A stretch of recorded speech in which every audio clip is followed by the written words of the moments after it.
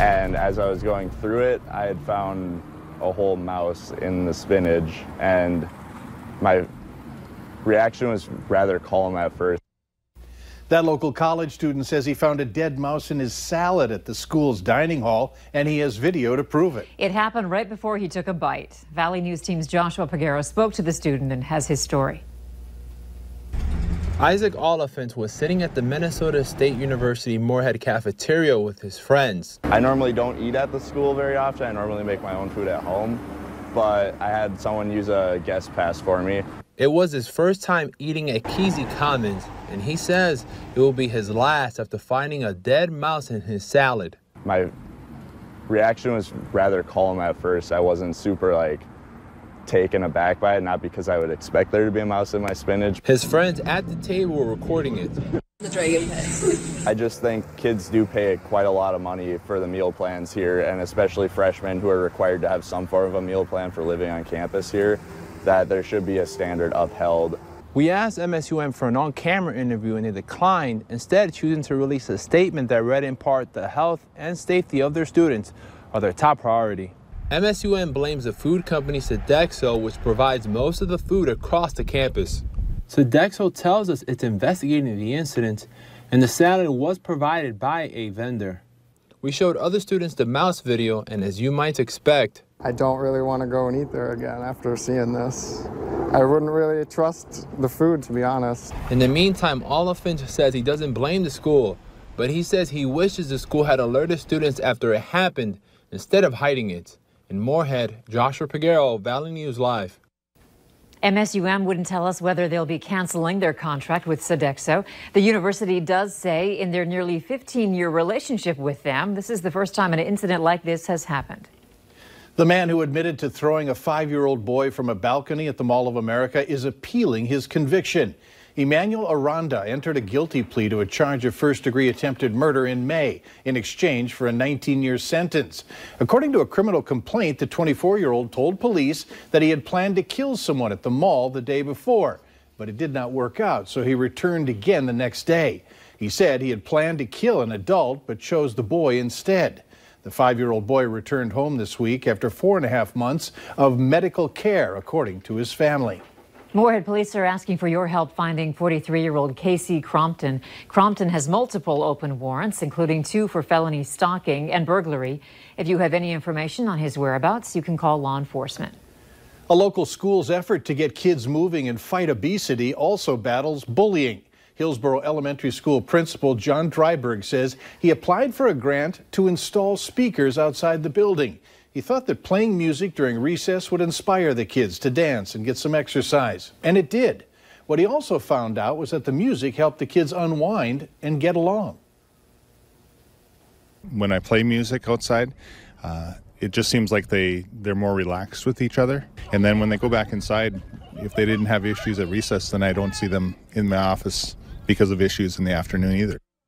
Principal Dryberg says he's outside with the kids for recess every day. He adds the kids are outside dancing to music all winter until it gets 20 below. When you hear the words school lockdown, scary images often come to mind, and that is what area school districts are trying to avoid. They're using new terminology to better describe difficult situations.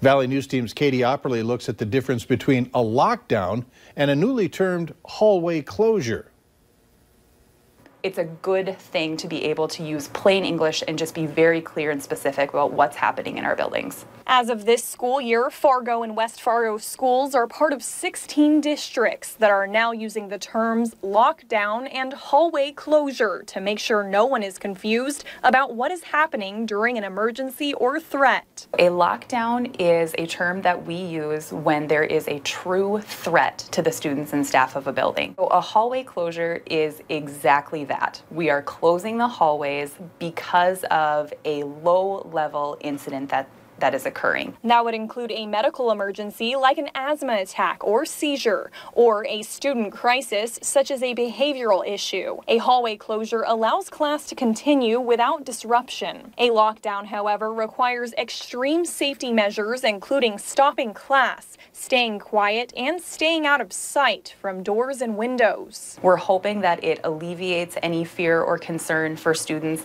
but then also helps parents in the community understand more what is happening in our buildings. So not everything is a lockdown because lockdown means something scary and in general those don't happen in our schools. With this being the first year many districts are using the new terms, they're interested to hear what people think. I think it would be helpful for uh, parents to know that uh, uh, something happened at school but not have the fear of a lockdown.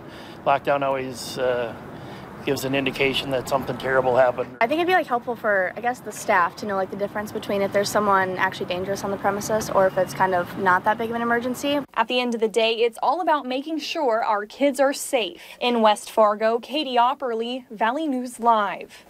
West Fargo Public Schools recently sent out school emergency information, which includes the difference between a lockdown versus a hallway closure. To read it, head to our website, valleynewslive.com. A Fargo business is looking to make major security changes after several thefts over the last year. Fargo Tractor called our whistleblower hotline saying the most recent crime was caught on camera. Lawnmowers, trailers, and tractor batteries have been stolen from the lot over the past year. They already have security cameras and now are looking at other security measures, such as possibly putting a fence around the area. It's kind of frustrating to come into work and see you're missing missing equipment off the lot and then the time to, you know, try and track some of that stuff down. Police tell us they are looking at the surveillance footage now to figure out who the person in the video is. Fargo's trying to catch up after Monday's destructive storm, high winds knocking down trees and power lines creating quite a mess. The city says they have a full staff up in North Fargo working. That's the part of town they say took the hardest beating. They also say it's going to be another two weeks before those tree limbs disappear. The main thing that people can help us out with is uh, when they put their branches or brush out on the boulevard, uh, try to stack it nice and neat. For now, you can take your branches to the landfill free of charge. Some people living in West Fargo are slipping and sliding on a patch of slimy sidewalk in the Arbor Glen neighborhood. They consider it a safety hazard. And they want the city to do something about it. But as Valley News Team's Courtney Lockie found out, it might not be that easy. Runners, dog walkers, and bikers alike say they've noticed a couple of slippery patches along the sidewalk at 17th Avenue East and 16th Street East near Cheney Middle School. Whether they've slipped on it themselves or saw it happen to someone else, they say the gooey mess is a safety hazard. It's definitely a problem because I feel like someone could seriously get injured. Yeah, especially for like little kids. Paige and Leah are eighth graders at Cheney Middle School. They ride their bikes to and from school every day, and they say they've slipped on this patch of slime a few times themselves, including once today. We ride our bikes here every day, and like it hasn't left, and it's been here since like the snow dried, and like when we walk, we almost slip. Communications Director for the City of West Fargo, Melissa Richards, says they have received multiple reports about the hazardous sidewalk, but when they sent a crew to check it out, they didn't think it was a big deal. Our code enforcement department did go out and check it.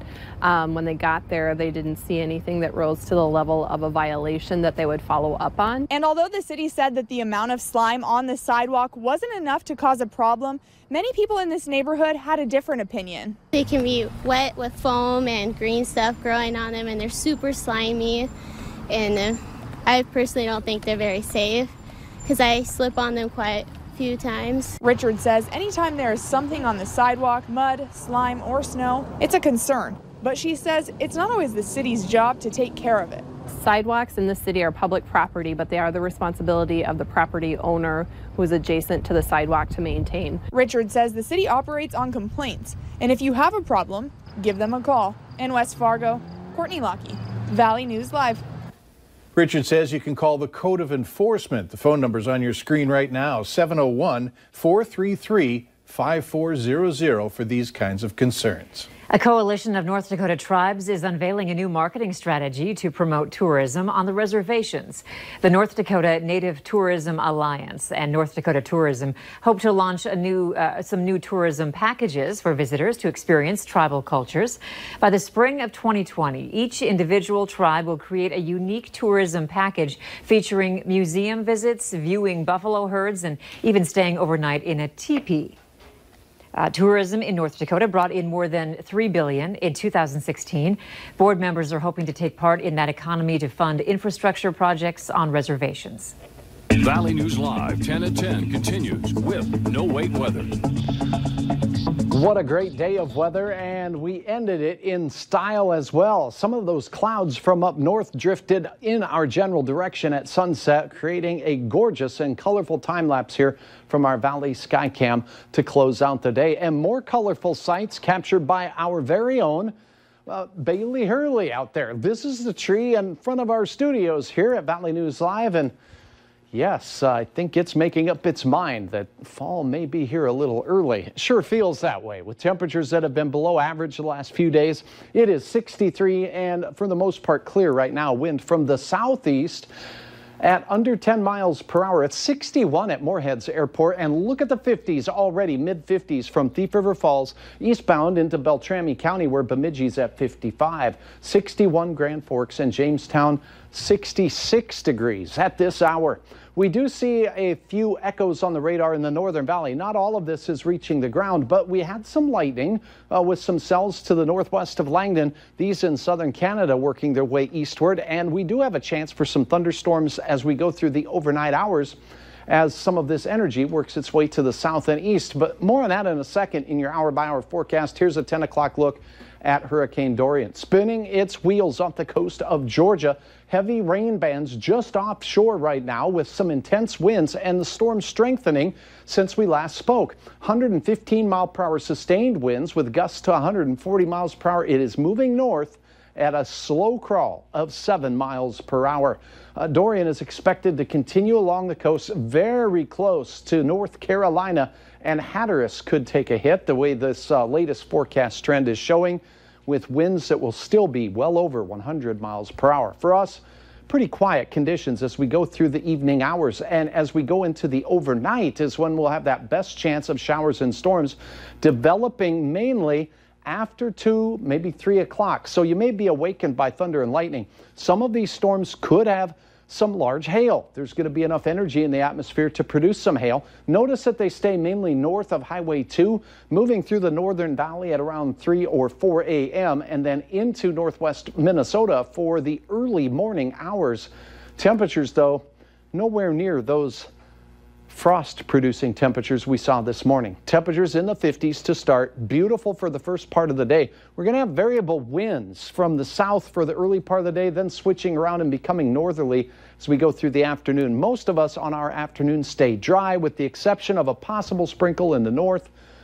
Here's a look at your planning forecast. Mid to upper 50s to start your day. Temperatures rising up into the mid 70s with mostly sunny skies in the early half of the day, maybe some late clouds.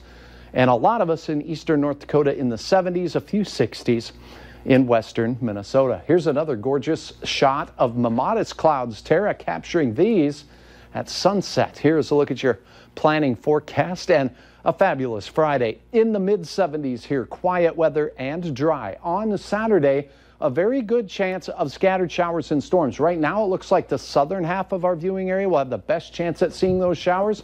And brr, look at those highs in the 60s through the weekend and into early next week. You're trying to ignore those 60s. We are anyway, you know. Do When the we're- when best you're you looking- can. When yes. you're looking for 80s. We're just 60s delivering the uh, facts here. Yeah, I know. Thanks, you bet. Up next on